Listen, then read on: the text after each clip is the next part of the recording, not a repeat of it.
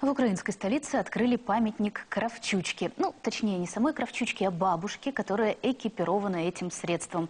Это уже вторая работа из цикла «Бабки». Первая, классическая, прописалась на лавочке в парке Шевченко. Вторая будет теперь жить на левом берегу на Русановской набережной.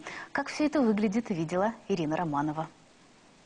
Памятник полностью готов, а его автор Анна Киселева вся на нервах. То табличку приклеит, то мусор подметет.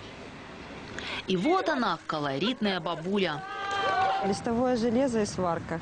Весит где-то, не знаю, килограмм 100, наверное. Рост метр восемьдесят пять, на голове буденовка, на лице мейкап, тело покрыто лаком. В руке кравчучка, а в ней птица. И решили, что это должна быть утка безголовая. Символ еды человеческой. Скульптура, говорит Анна, была готова еще прошлым летом, но то денег не находилось, то с местом не могли определиться.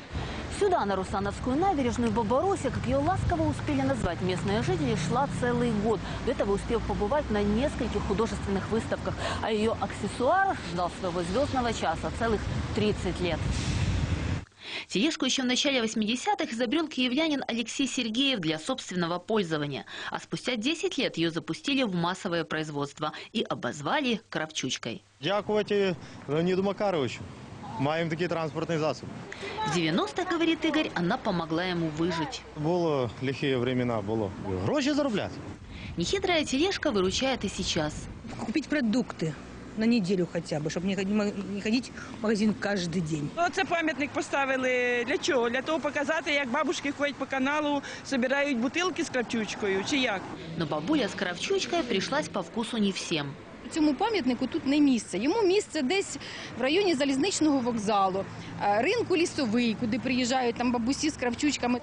Надежда торгует на лесном рынке с тех самых 90-х. О памятнике не слышала, но считает все правильно. Такі сумки, що не потягнеш у руках. Ставиш на кравчучку, да й везеш. То й спасибо, що так. Жаль только сетует, что увидеть скульптуру своими глазами не получится. Некогда.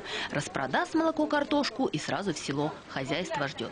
Ирина Романова, Игорь Антонюк. Подробности. Телеканал Интер.